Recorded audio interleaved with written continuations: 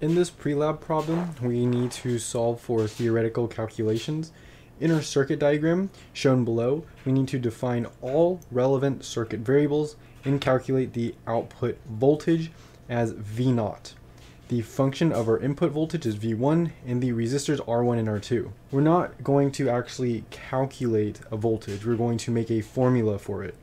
So we know with op amps, because this is a op amp, we are going to have a Vn here and a Vp here.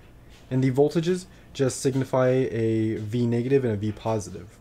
We know that Vn is equal to Vp, and we know that Vp in this instance is equal to zero because it's directly connected to the ground.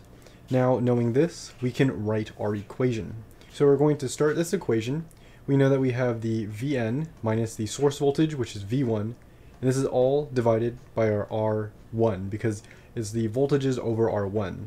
Next, we're going to have a plus, and then we are going to have our Vn minus our output voltage, and this is all over our R2, and we are going to set this equal to zero, and this is Kirchhoff's current law. Now, we need to plug in that our Vn is equal to zero, so this is going to be zero, and this will be a 0. So after going further, we can move our V0 over to the right. This is going to become a negative V1 over R1, and this will be equal to the V0 divided by R2. We want to solve and calculate the output voltage V0. This means that we want V0 by itself.